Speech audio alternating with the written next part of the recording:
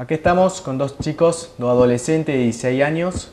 Ellos hace 10 meses que empezaron un tratamiento de rehabilitación, ya que desde hace años, de que eran muy chicos, empezaron a, a consumir todo tipo de drogas. Estamos, ellos han sido desde hace 10 meses, como dijimos, están en la asociación Nuestra Vida, que es una asociación de Barrio Alto Verde, para chicos con problemas de adicciones, para chicos jóvenes y no tan jóvenes que tienen problemas de adicciones, porque la adicción eh, afecta a todo el mundo por igual, a todas las capas sociales de, la sociedad.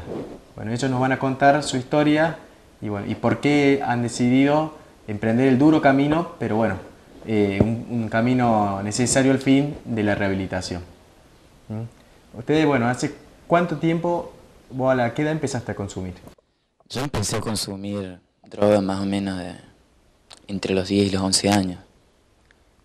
Como dijiste vos también, eh, influye mucho en todas las clases sociales y en todas las edades porque no se empieza a consumir droga por ser de una clase social o por permanecer en cierto grupo o en cierto estado, sino son factores que influyen muchas cosas en la vida.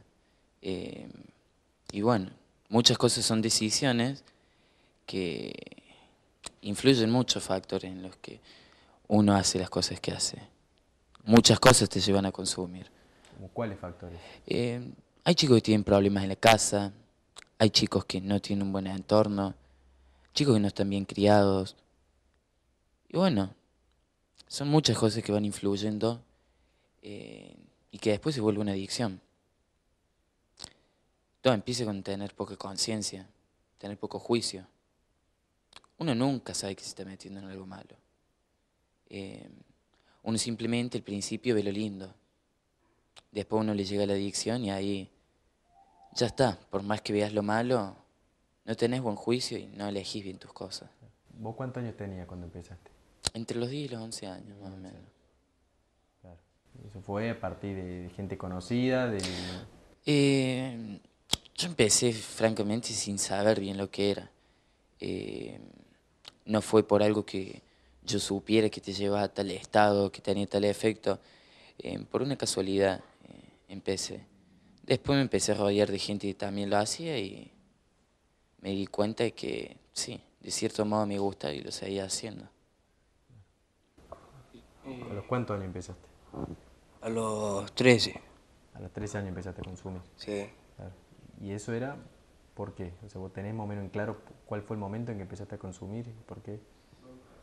Y también fue por un gusto. Empecé por un gusto y, y bueno, me volví adicto, como todo dice. Claro.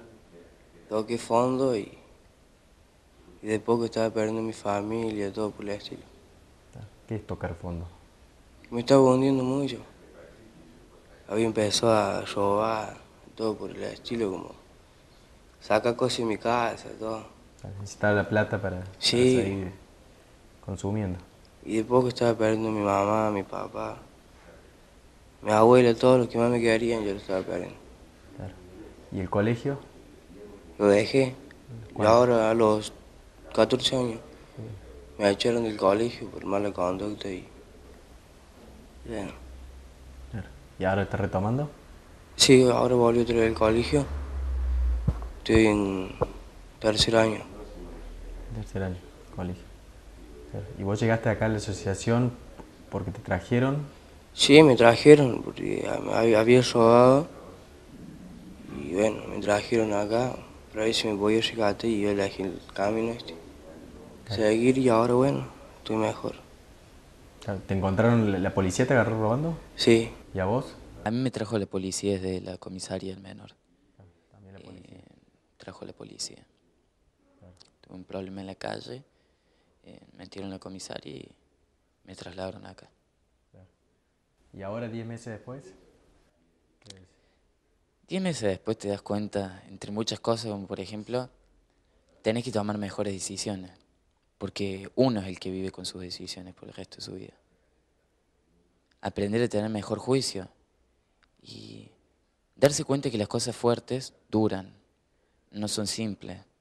Y sí, como dice él también, esto de la droga, paradójicamente, el que llega a tocar fondo es el que más posibilidades tiene de salir a veces, porque es como un, shock, un golpe de conciencia. pero no es necesario tampoco. Se puede, se puede tener razón sin tocar fondo, tener buen juicio. Se puede pedir auxilio antes de tocar fondo. Y si se lo tiene, emplearlo y usarlo, porque si a tiempo mejor. ¿Y vos cómo fue tu camino? ¿En qué sustancia empezaste y después con cuál Yo empecé inhalando pegamento, eh, pero como te dije, sin noción de que eso era una droga. Después ya metiéndome en cosas más jodidas, eh, bueno, empecé a probar la marihuana, la cocaína. Eh, y después era una situación en la que ya había probado demasiadas cosas y ya el efecto no, no te basta.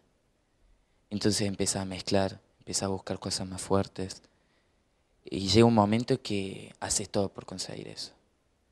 Haces todo por conseguir algo más fuerte, haces todo para que no te falte eh, y sin importar nunca la consecuencia. Hay un momento de conciencia, siempre hay un momento de conciencia, pero son elecciones y uno elige qué es lo que quiere. Hay veces que la droga llega a tener más valor que la familia de uno, más valor que la escuela o que todo lo que uno haga. Y entonces ya en el momento te importa nada más eso, conseguirlo, eh, aumentar la dosis. el efecto. El efecto, la cantidad. y que no te falte.